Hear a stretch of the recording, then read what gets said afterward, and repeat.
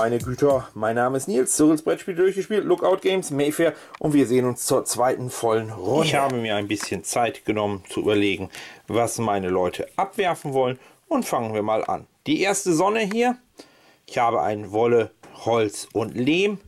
Und noch ein Holz, also Doppelholz, Wolle und Lehm.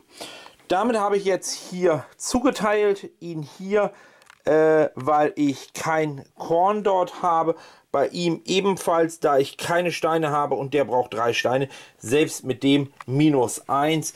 Und bei ihm ist das einzige, da habe ich äh, den ruhig zu den Steinen gebracht. Hier, den hätte ich zum Beispiel fertig produziert, aber der will Geld haben. Also weiter zur nächsten Sonne. Nochmal Holz. Nochmal Wolle Nochmal Stein. Wow, jetzt kommt doch einiges raus. Holz, noch ein Stein und nochmal Holz. Also jede Menge, bis auf Getreide ist eigentlich alles da. Was braucht er? Er braucht zwei Steine, zwei Wolle, beides da. Damit produziert er zwei Güter. Hat er jetzt noch Wolle auf der Hand, könnte er die runterspielen, hat er aber nicht. Das heißt, kann er das bauen für sechs? Ja, genau, die zwei. Gerade so geschafft, nicht doll. Wie sieht es bei ihm aus? Zwei Wolle, ein Holz, ist alles in der Mitte.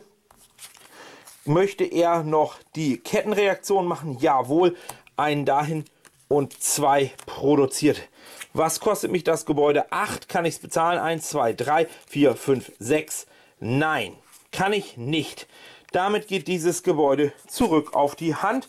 Aber ich habe immerhin gebaut. Naja, und wie sieht es bei ihm aus? Zwei Steine und ein Holz ist alles in rauer Menge da.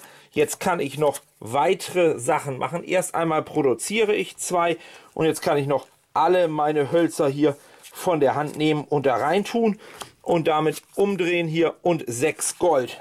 Eins, zwei, drei, vier, fünf, sechs hat geklappt. Falls ihr euch übrigens fragt, warum läuft es eigentlich bei Nils heute so schlecht? Ja, ich weiß es ehrlich gesagt auch nicht.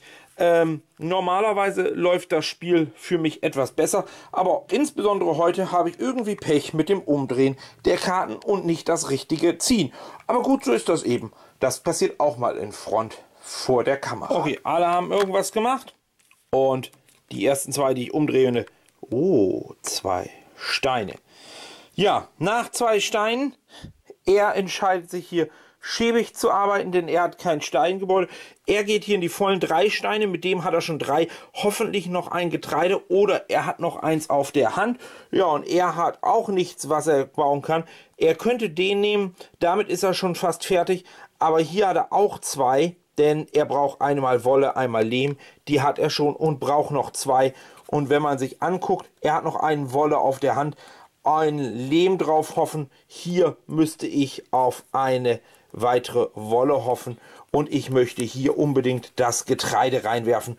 Ob das klappt, schauen wir mal. Da kommt ein Getreide raus und ein Lehm. Vier Karten, das ist das Minimum, was in der Mitte liegen kann. Keine einzige Wolle, kein Holz. Ich habe eine Wolle, ich kann jetzt für ein Holz und ein Dings einproduzieren. Der produziert lieber nicht. Damit kann ich mir auch das Gebäude für drei nicht... Doch, ich könnte es mir erlauben. Guck mal, dann baue ich das Gebäude auch für drei. Eins, zwei, drei. Und damit ist das Gebäude gebaut. Das war eine doch in Anführungsstrichen kostspielige Runde für ihn. Denn so richtig was hat er ja nicht gemacht. Das muss man so ehrlich sagen. Wie sieht es bei ihm aus? Er hat sich für drei äh, Metalle und äh, drei Steine und ein Korn entschieden. Zwei und eins liegen da, einen hatte. Das heißt, er baut hier wirklich zwei auf. Hat er noch Wolle? Ja, hat er. Und damit hat er 9 Mark. Das Ding ist teurer, deswegen zieht er den zurück auf die Hand. Und bei ihm zweimal äh, Waschmittel, einmal äh, Stein. Er hat einmal Stein, einmal Waschmittel, ein anderer Stein liegt da. Das heißt, für ein weiteres, für einmal Wolle, keine Waschmittel, kann er produzieren, kriegt zwei Produktionsgüter und darf die ganzen Körner hier reinlegen und hat damit jetzt 3, 6, 9, 12, 15, 18 Mark. Was wollte er bauen? Für 15. Das heißt, 1, 2, 3, 4, 5 gebaut und einer bleibt liegen. Und er veredelt jetzt als erster die Rinder. Mal gucken, ob er das hinkriegt, denn dafür muss er relativ viel bezahlen. Drei Hölzer und zwei Wolle. Und er kriegt nur eine Wolle hier raus. Ja, Karten werden genommen und ich denke, der Startspieler geht hier hin. Karten sind schon verteilt, also angeguckt. Als erstes ein Korn, ein einmal Wolle, einmal Holz und noch keine Sonne. Einmal Lehm, erste Sonne, zweites Mal Lehm, nochmal Wolle. Nur eine Sonne bis jetzt. Und dreimal Wolle, zweimal Lehm, einmal Holz und einmal Korn.